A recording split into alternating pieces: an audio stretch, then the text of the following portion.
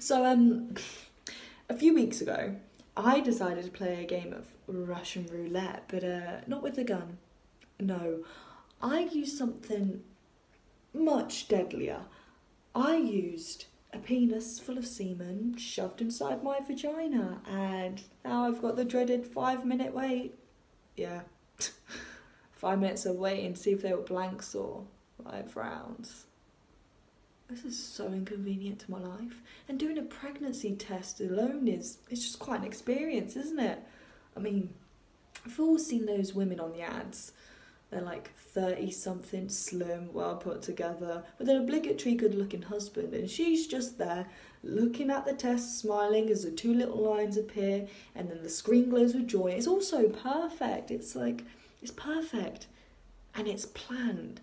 Um, I'm sure there's women out there have had that experience, but I'm 29 and I've been doing tests since I was like, what, 15? And let me tell you, not one of them's ever been like that.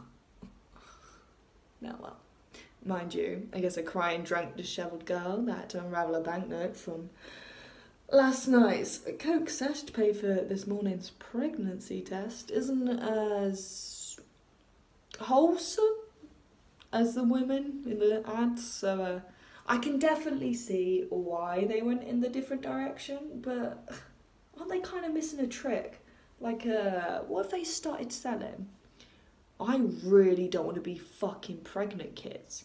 You know, it's it's just like a little box, and inside you have a pregnancy test and then a little bottle of gin. the fuck am I kidding? A huge bottle of gin, and then the number to your local abortion clinic. And then maybe they could do a. I wanna fuck up my ex because he's he's moved on with some other girl who's actually really dull. So I want to spice up his life, give him a mild anxiety attack kit. And in this one, you get two tests. Okay, so one is real, one is fake. The fake one already has the two little lines on, so you can give that one to your ex. And the real one, well, keep that one for yourself. yeah, okay, uh, morally and legally, the last one might be mildly problematic, but you could probably work something out. It's got legs.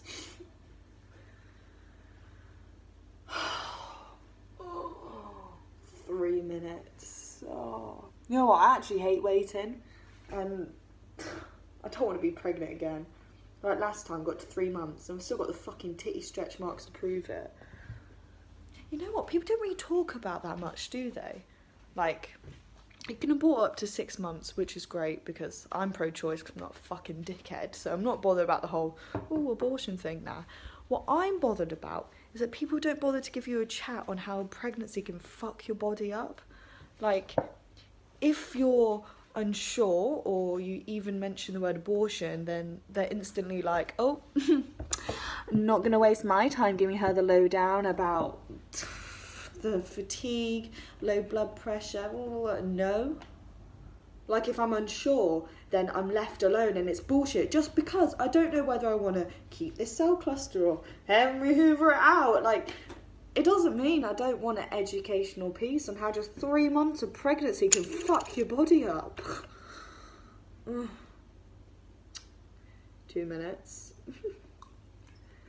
That's about as long as he lasted, you know, Mr. Russian roulette. Well, I'm not being shady either. Like, he was like the fucking Flash. if he did manage to impregnate me, I'd be almost impressed. Almost. You know what?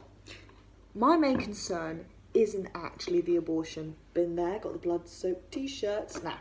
And it's not the procedure either. They. They just have really shit food. you know, like the food that they give you once they've wiped out your womb. It's it's just not nice, and you have to eat it because you're phone, so you have to. It's just a bit grim. no caviar and champagne in a abortion clinic. Let me tell you that. But yeah, just kind of force feed you it, and you have to eat it because the whole ooh fainting, low blood pressure, whatever. You know, faint twice yeah, had to stay surrounded by silently crying women. So, yeah. Oh, one minute. I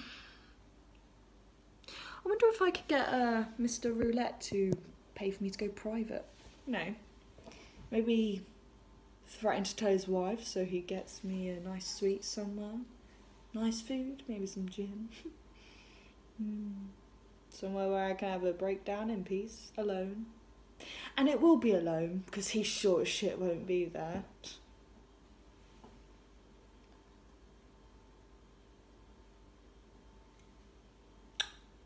Yeah. Wonder if I'll ever be like that woman in the ads. You know. With a husband that's hers, and joy.